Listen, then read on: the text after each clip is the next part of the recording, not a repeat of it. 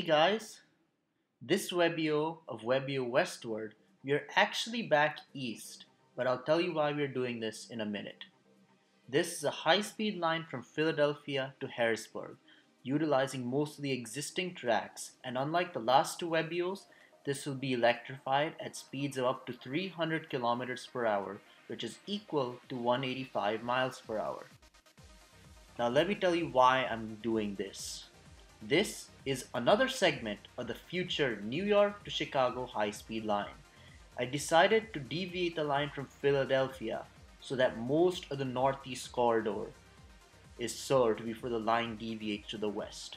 I may eventually make a connection to Washington DC and Baltimore, but currently I thought Philadelphia was a prime location as such a line already exists for the most part and just needs to be upgraded to support higher speed trains. The line will go from 30th Street Station to Downingtown to Lancaster to Middletown and finally to Harrisburg. So we'll start at Philadelphia 30th Street Station on the bottom floor. People can already connect to my existing high-speed rail plan of the Northeast. If you want to see some videos on that, click on your video here and it'll take you to those particular Webeos. However, at Zoo interlocking, we'll actually go west along the existing Keystone corridor.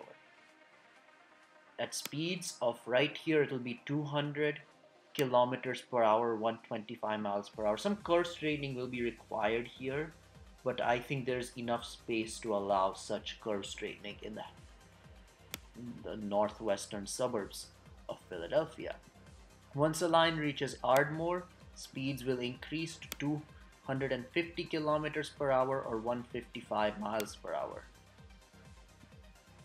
There will be some curve straightening required here as well as possible rebuilding of the Rosemont station but the speeds maintained here would definitely be worth it because this is the only section in a while that has turns like this so curve straightening even if it means having to rebuild a station is worth it.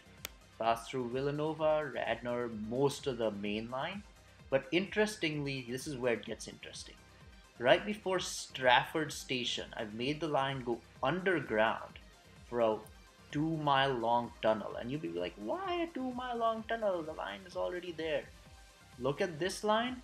Look at this line. This line connects us to Lower Merion Township, Upper Merion Township, King of Prussia, and Norristown, along with the other northern suburbs. I may even commission a rail line along this path right here, but that's in a future Webeo. We're focusing on eventually connecting the east to the west. Kind of like the Transcontinental Railroad, right? But high speed style. Anyways, it'll go underground, it'll emerge on the, the line that goes to Norristown. It's currently a freight line, but there's enough right of way, it's two tracks all that will be needed is to be electrified and this is a perfectly nearly straight segment trains will be running here at 300 kilometers per hour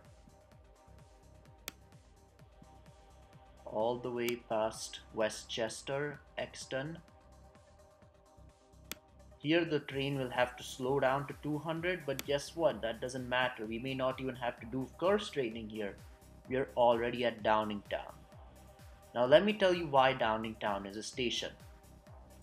Philadelphia suburbs are very biased to the north and west since the state of which the biggest city is in is also the state of these suburbs here. Basically what I'm saying is in a big city, the suburbs will generally stay in the same state. This is why New Jersey suburbs do not extend as far out as the Pennsylvania suburbs.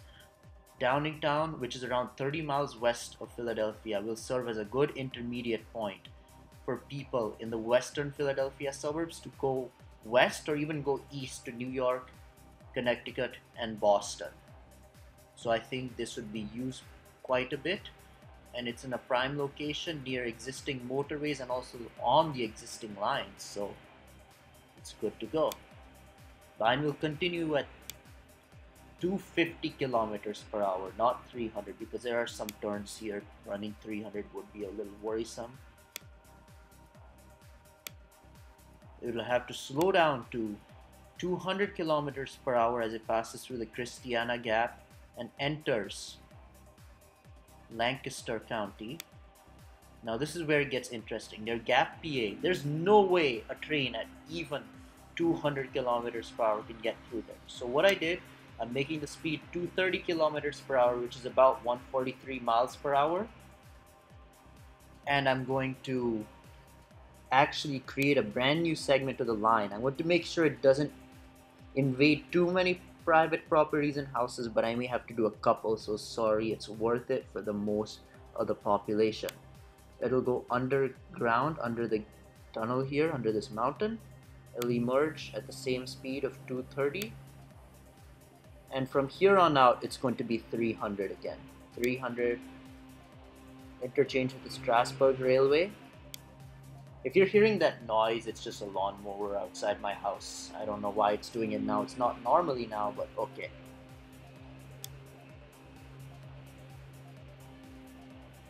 Just north of Gordonville, it'll go into another new segment. This is about three miles.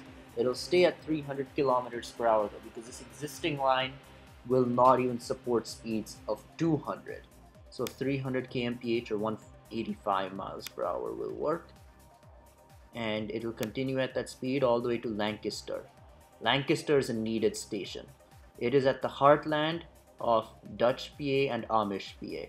Lots of people, especially from York too, will be commuted to Lancaster to go east and north. York people will also be able to use Harrisburg to go west, which is not drawn yet, but we'll talk about that later. Lancaster is a big city, population of about 60 to 70,000 people. Its metro area is more than 200,000. So we can expect a lot of people to use this station. And this station is also pretty well out. It has four platforms and it seems like a reasonably high capacity, high quality station. It has high level platforms and pretty much any amenities in most stations of this caliber would have. So not much upgrading would be required. Maybe just some upgrading of the facilities to support a higher traffic load but besides that nothing much will be needed to done. Line will continue again increasing speed all the way to 300 kilometers per hour paralleling route 283 most of the it's still on the existing keystone corridor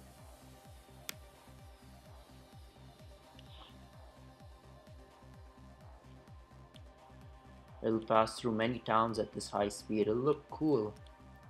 Hopefully it won't be too loud. I'll make sure these trains don't make loud, obnoxious noises when passing through these otherwise quaint towns. Now here the train will have to slow down to 200 kilometers per hour near Elizabethtown.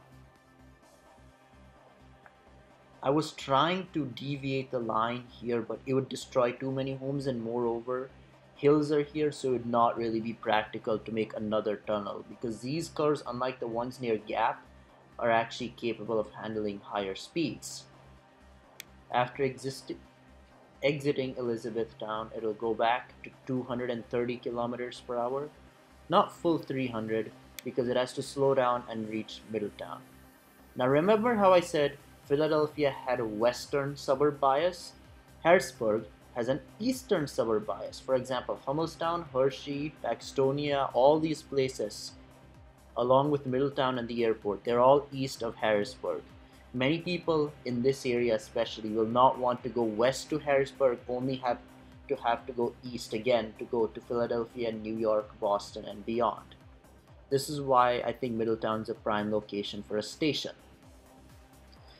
After Middletown, the line will continue right next to the Susquehanna River at 300 kilometers per hour straight all the way to Harrisburg Station.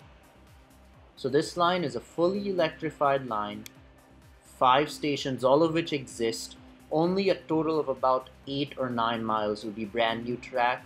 Couple curves will have to be curve straightened, but the travel time between Philadelphia and Harrisburg will be 45 minutes between Philadelphia and Lancaster will be around 33 minutes. Currently, this trip takes 70 minutes to Lancaster and more than 100 minutes to Harrisburg. so time will be cut by more than twice by upgrading this line to high speed. In the next Webeo, we will get challenged. We have to cross these mountains to get to Pittsburgh. And just for a forewarning, this is an interesting yet expensive proposal coming up, so please stay tuned. It may deviate from some of my original Webeo theories, but I'll have to do it. Okay, thank you and bye.